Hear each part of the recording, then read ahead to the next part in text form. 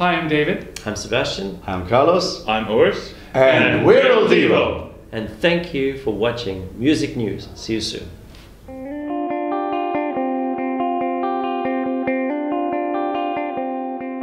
Il Divo, it's great to see you all. Feeling good today? Yeah, yes, good. indeed. Thanks. Good, good, good. Next month you start off your castles and country tour. Are you looking forward to it? Certainly. Absolutely. Yeah. yeah. It's going to be beautiful, amazing background, sceneries, history, and we're coming with our tour timeless, and it's going to look spectacular. Excellent. I mean, they're playing some absolutely amazing venues. How did the idea sort of come about? Well, we've been kind of touring for the last 15 years, and we've obviously come through the UK quite a few times.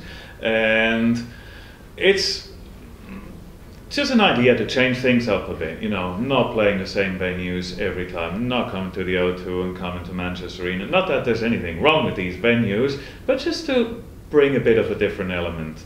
Most of these shows are outdoors, and as Sebastian said, you know, the backdrop is going to be these beautiful castles, stately homes, these open grounds of the of the outdoor festivals, and what better to make the backdrop for our passionate and dramatic music. So yeah, absolutely. I mean, I mean, after 15 years as well, are you still enjoying playing live just as much?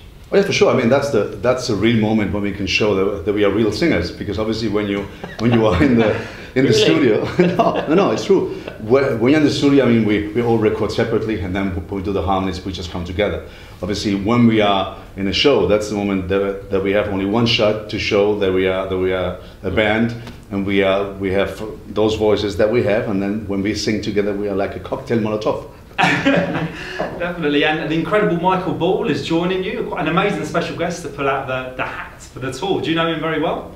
Um, we have uh, crossed each other's paths a few times. I love working with Michael Ball. We recorded um, Love Changes Everything yeah. uh, from Aspects of Love on our album, A Musical Affair. And he was the producer for that, and, and it was the first time we had met him.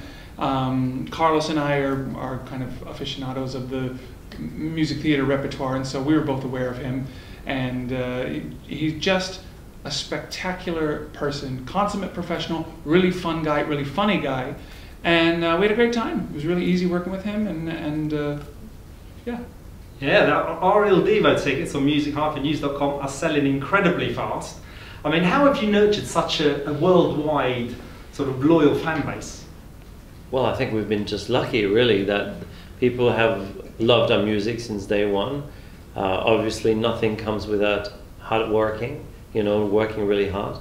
And we've been to a lot of places over the years.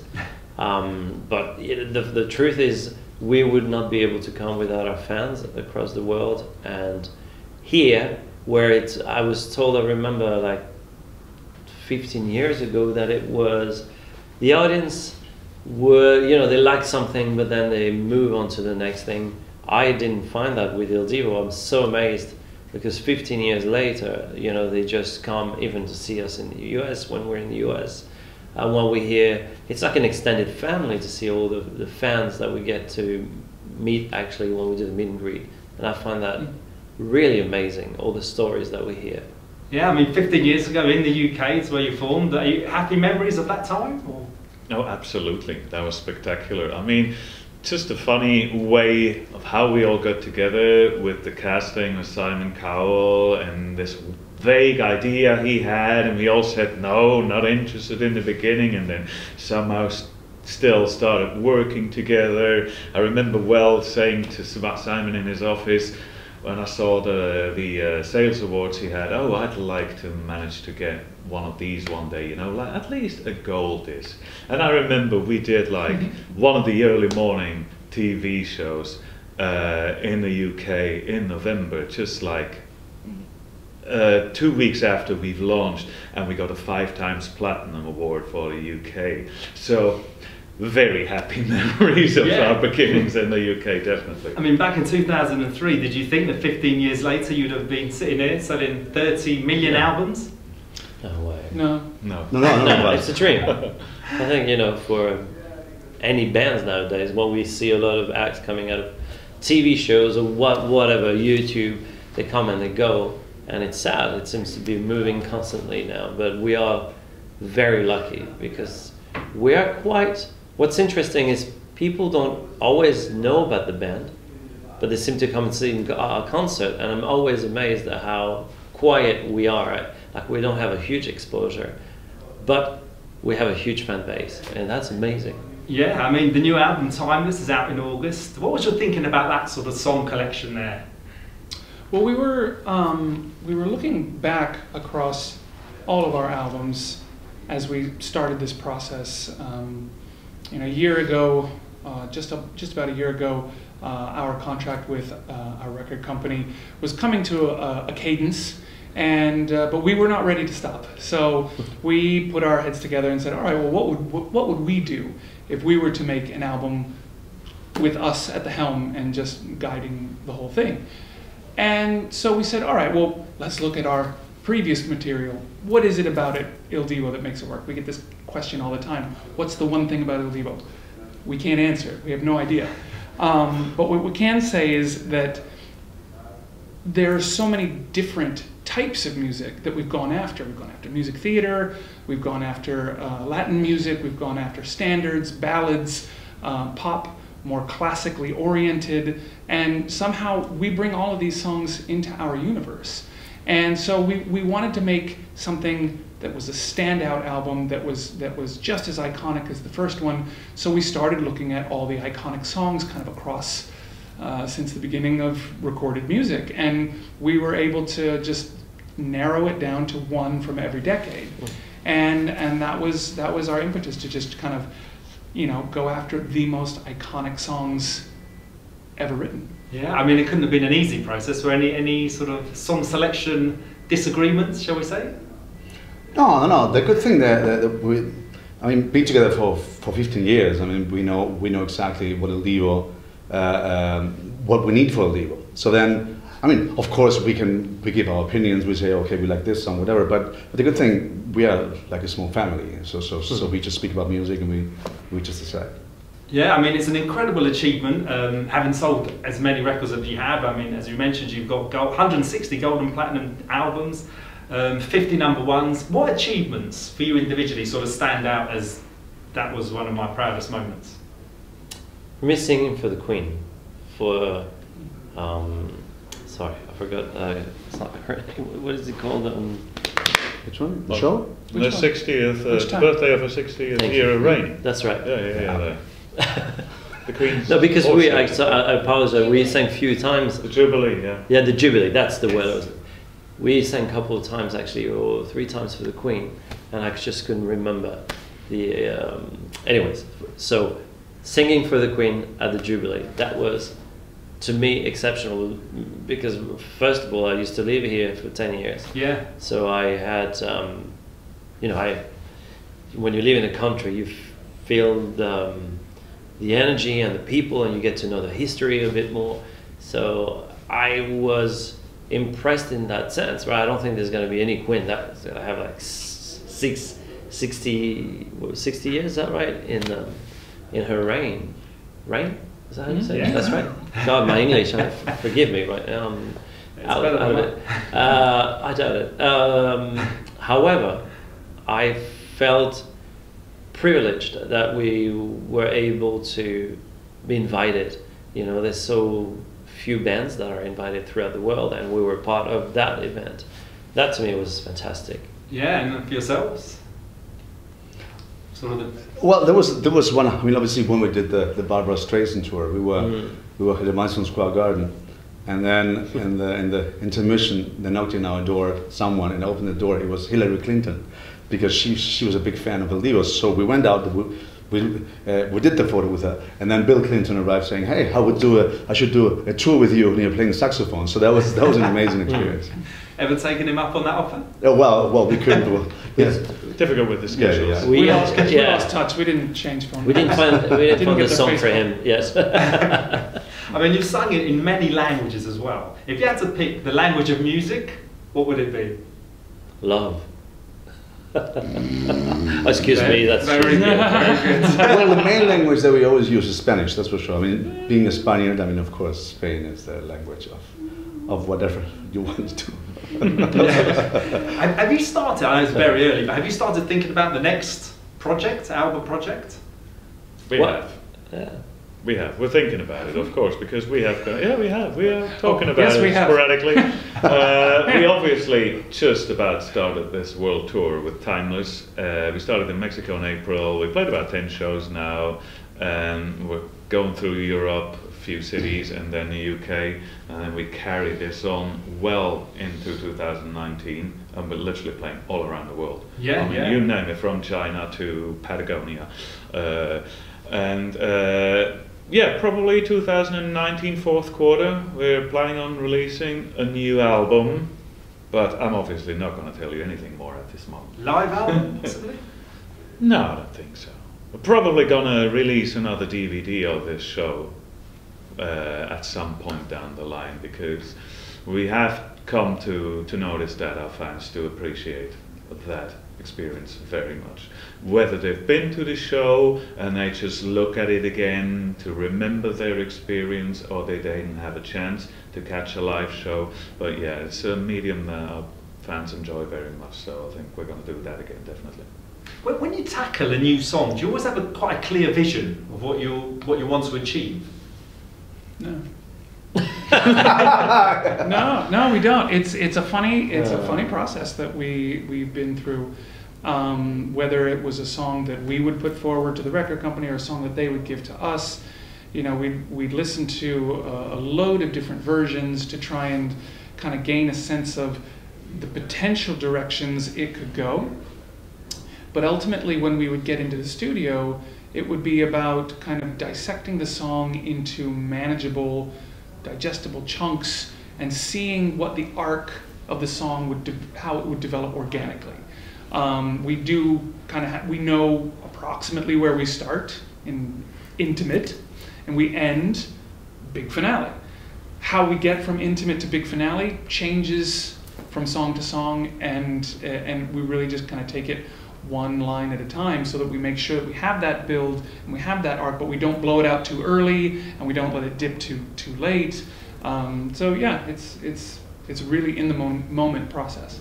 I mean, you mentioned that you're playing all over the world. I mean, do you ever feel like the schedule? I mean, you're always on the move. That the schedule's too much for you?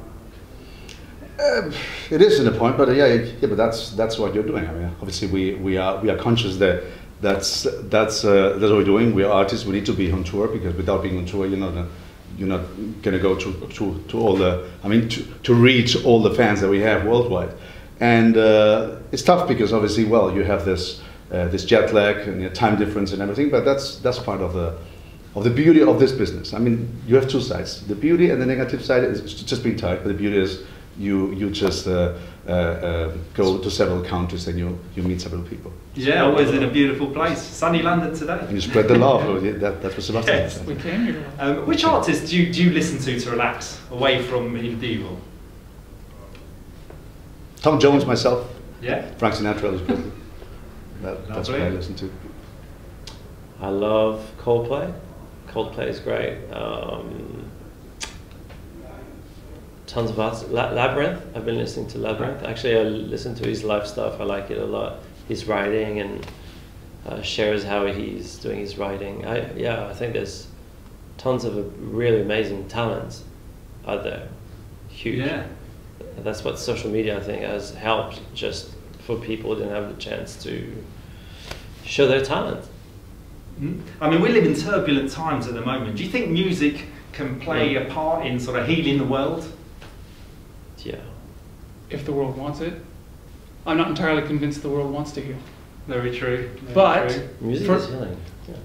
Music is healing. It's it. Music is whatever you want it to be. Mm. That's the thing.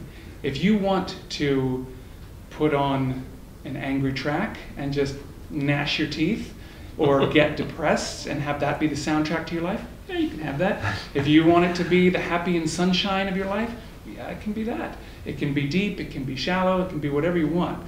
And that's why I say, you know, I'm not entirely sure that the world wants to heal because everyone has different priorities and everyone has a different karmic path in life. So, you know, it's just a soundtrack. It's whatever you want it to be. Excellent answer. And away from music, what would you like to do to, to relax? I love going to the gym.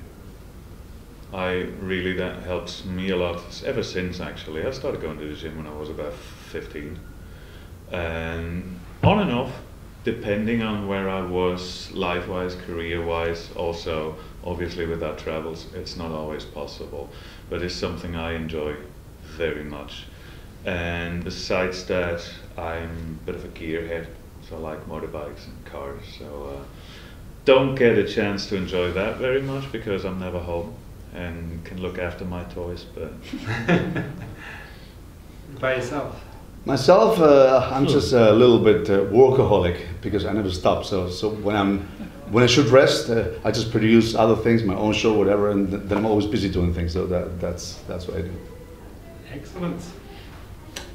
Songwriting, I love uh, hanging out with tons of people and just go in studio and try to have no expectation of what we're gonna, what we have to do, what we're gonna do. So my publishing sends me to places and I go and songwrite with quite a few people. So that's amazing. Um, and uh, the other thing that I love is just being, obviously that's the number one thing, being with my family, with my wife, with my kids, going gardening, cycling with them, going on the beach, surfing, paddleboarding, all this kind of thing like that. I don't surf much, but paddleboarding, yeah. Excellent. Um, in the downtime in between um, touring and, and recording the album, love being at home, um, being out in nature, um, and I also I, I agree with Urs the whole working out thing. You, you'd be surprised how much buildup of energy there is being in in this kind of lifestyle. The amount of waiting that you do, waiting to go on stage, waiting for your flight, waiting to check in, waiting for X, Y, and Z, the car ride to and from, you're waiting all the time. And there's always a buildup of energy with that. That for me, the best way to, to spend that is, is going to the gym, going for a good run. And beyond that, I really like being uh, just kind of creative with whatever is crossing my path. And at the moment, that has become like a transition into directing, directing film. Excellent. I mean, you've achieved so much, as we've established. I mean, do you still have, as a band, sort of burning musical ambitions?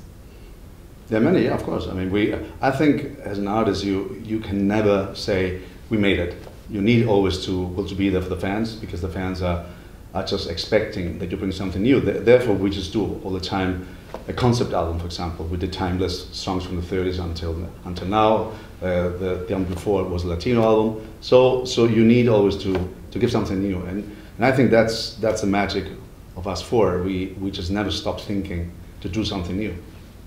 Excellent. Well, thank you very much for the time. It's been an absolute pleasure. For somebody that um, hasn't come across Il Divo yet, and you had to pick four songs to say, check these out, they sum us up as a live band, one each, what songs would you say? I would pick Nella Fantasia. Adagio. Hola, our latest single. Regresa a mí, our very first single. Excellent. And for some, lastly, for somebody coming along to a live show for the first time, what can they expect at an Il Divo concert? We're going to blow your face off with our voices, with music. You're going to have a great time. There's not going to be a single moment that you're going to um, Fall be longing for something else. It's a, we find this all over the world. We find the, the audiences are just so present with us. Mm. They're on the edge of their seats, which gives us the energy to just give them even more. Excellent. Well, thank you very much. Any messages to Music News viewers out there? No, just- just come to see the shows. Yeah, enjoy it. Simple news. as that. Yeah, yeah. Thank you for all your support. Yes. Uh, keep checking in, ildivo.com or uh, Live Nation. You can find all the tickets online. We hope to see you. We love you and see you soon. Or just call me. Thank you very much Thank indeed. A Thank you. Thank you, Mike. Thanks. Thank you.